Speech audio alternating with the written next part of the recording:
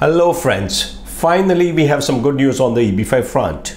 If you remember, in our last video on this subject, which was released last month, we had anticipated that what seems a likely possibility is that the lawsuits filed against the USCIS results into a temporary injunction of redesignation of the existing RCs, thereby allowing them to take money from the investors for the time being.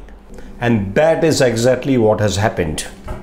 In response to litigation filed by a regional center, the US court has on 24th of June granted temporary injunction, thereby preventing USCIS from implementing its policy requiring all the existing regional centers to be redesignated.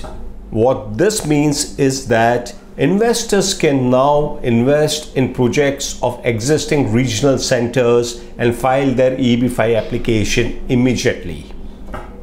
However, one should keep in mind that this is only temporary relief and one doesn't know what steps USCIS is going to take in response to this order. So if you are thinking about filing your EB5 application, please hurry up.